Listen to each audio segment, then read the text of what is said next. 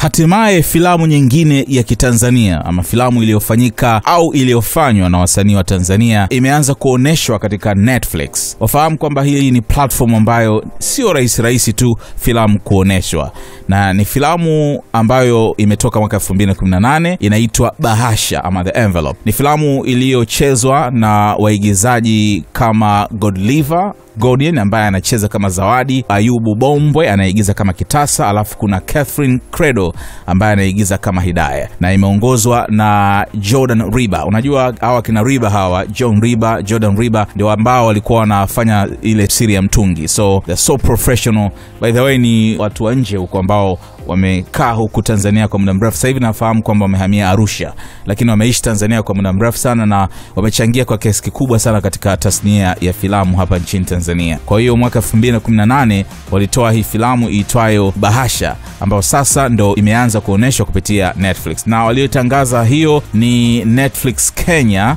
ambao kupitia Twitter wameandika after taking a bribe that betrays his friends family and community a Tanzanian politician must travel the relentless road to redemption. Kwa hiyo hapa wanachozungumzia ni kwamba huyu ni mwanasiasa ambaye amechukua rushwa na hivyo tena akawa amewageuka watu wake wa karibu, familia na jamii kwa ujumla. Sasa anapambana kutafuta ukombozi. So struggle hiyo ya kuweza kusafisha jina lake ndo stori yenyewe. Hii inakuwa filamu ya pili sasa, ambayo katika interval ya kipindi kifupi sana ambayo imewekwa katika platform hii ya Netflix. Nilikujulisha vile vile kwamba Januari saba itakuwa Ijumaa, filamu ya Binti ambayo vile vile Godliver ameingiza ndani humu, nayo pia itaanza kuonyeshwa katika Netflix. Tofauti ya Bahasha pamoja na Binti ni kwamba Binti ni filamu mpya, ni ya mwaka jana tu, kwa hiyo bado ni mpya, na yenyewe Ijumaa ya tarehe saba itaanza kuonyeshwa. Hii Bahasha tayari ipo kwenye platform, ndio maana wamesema kwamba Bahasha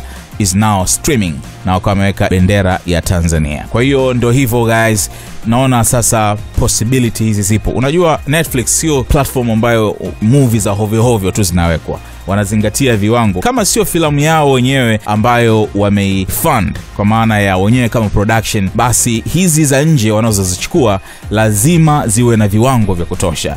Ndio maana ni nadra sana kuona filamu ya Tanzania imo mle, kwa sababu nyingi zinaonekana kwamba hazina viwango, lakini Binti na hii hapa tumeona sasa hivi Bahasha zimefikia viwango vyenyewe. Juzi nimetoka kuangalia by the way filamu ya kwanza ya Uganda ambao wanasema pia na wenyewe ndio filamu ya kwanza kuingia Netflix toka Uganda, inaitwa The Girl in a Yellow Jumper.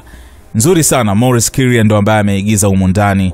Nimeitazama na nikaona kweli kwamba sasa hivi kuna possibility hiyo. Wenzetu wa Kenya wanazo nyingi sana filamu kutuzidi ama kuzidi nchi za East Africa. Kwa hiyo kuona pia kwamba uh, Uganda na Tanzania na zenyewe zimeamka, bila shaka hili vuguvugu linaweza likabadilisha industry pia ya filamu kama ilivyokuwa mapinduzi ya muziki enzi hizo, ambao kwa sasa tunaona jinsi ambavyo Tanzania ni industry iliyochangamka sana katika muziki wa Afrika. ongera sana kwa Godliver kwa sababu yeye yuko katika hizi filamu zote mbili ambazo zinaonekana kupitia Netflix. Tupia komenti yako na subscribe ili kupata taarifa nyingi zaidi.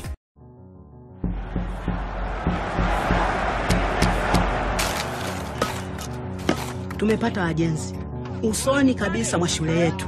watoto yao nani ni kibaini cha kujenga hapo? labda aliye juu yako Huu mradi utabadilisha kabisa sura mtaa wako. Utakuwa na maduka, utakuwa na kituo cha tarikishi. lakini leo ni eneo la wazi ujue Si wewe na wanakamati wako mnaweza mkatoa kibali? Mimi milioni mbili utawaziba midomo ujumbe wako. Hidaya mwanangu, usijali, nitakuletea zawadi nzuri. Sawa. idara Mwalifahamu vipi jina langu? twende basi ndani kidogo kaangalia kazi zetu jinsi gani tunavyofanya Mheshimiwa Mwenyekiti, umeruhusu nyoka ingie ndani eh? Sasa unakutawala mwenyewe.